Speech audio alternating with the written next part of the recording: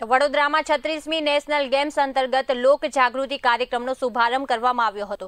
ખાસ કરીને વડોદરાની એમએસ યુનિવર્સિટી પેવેલિયન ખાતે કાર્યક્રમ યોજાયો હતો.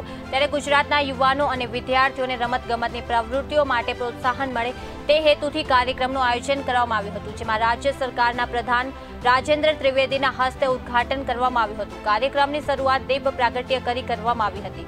કાર્યક્રમમાં ધારાસભ્ય મેયર ખાસ કરીને ઉપસ્થિત રહ્યા હતા અને મોટી સંખ્યામાં વિદ્યાર્થીઓ પણ જોડાયા હતા.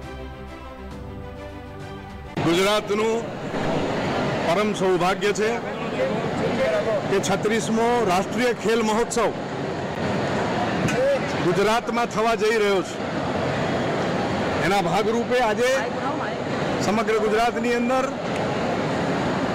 અનેક જિલ્લાની અંદર આ કાર્યક્રમ થયો છે રમતવીરોને પ્રોત્સાહન આપવા માટે. નાગરિકોનું સ્વાસ્થ્ય સારું રહે, એ માટે તત્કાલીન મુખ્યમંત્રી તરીકે નરેન્દ્ર મોદીજીએ બે હજાર દસની અંદર ખેલ મહાકુંભ શરૂ કરેલો. ત્યારે દસ લાખ યુવાનો રમતવીરો રમેલા. અને આજે એકવીસ બાવીસના અંતે પંચાવન લાખ રમતવીરોએ ગુજરાતની અંદર છાસઠથી વધારે રમતોની અંદર ભાગ લીધો છે, રજીસ્ટ્રેશન કરાવ્યા છે. રાષ્ટ્રનો નાગરિક.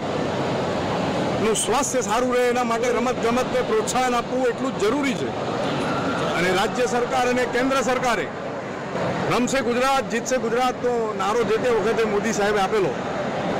અને એ હેઠળ અનેકો, અનેક યુવાનોને પ્રેરણા મળી છે. અને ખૂબ રમતોમાં ભાગ લેતા થયા છે. કોમનવેલ્થની અંદર એકસઠથી વધારે મેડલ્સ આપણે મેળવી શક્યા ભારત પહેલી વાર. ગુજરાત પણ એમાં અછૂતું રહ્યું નથી. એ ગુજરાતે પણ એકવીસથી વધુ મેડલ કોમનવેલ્થની અંદર મેળવ્યા છે ગેમ્સમાં આ સિદ્ધિ છે ગુજરાતની, આ સિદ્ધિ છે આપણા ભારતની. આ સિદ્ધિ છે નરેન્દ્ર મોદીજીના માર્ગદર્શનની, આ સિદ્ધિ છે ડબલ એન્જિનના સરકારની.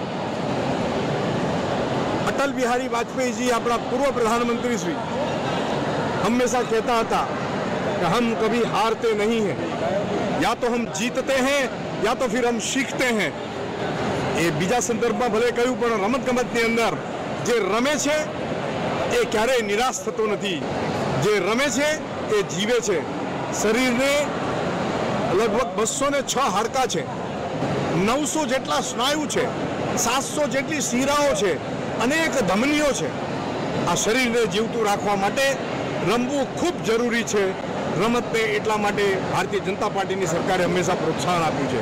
અને રમત માટે નરેન્દ્ર મોદીજી જે અમને જે મંત્ર આપ્યો છે એ મંત્રને અમે હંમેશા ફોલો કરીએ છીએ. રાજકારણમાં રમત હોઈ શકે, પણ રમતમાં કોઈ રાજકારણ નહીં. ધન્યવાદ, જય જય કરી દુકાન